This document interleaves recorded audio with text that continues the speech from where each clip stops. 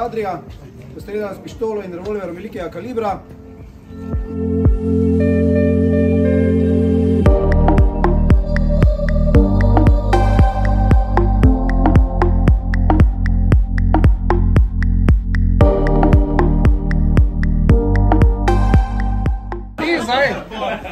Jaz sem sponzorom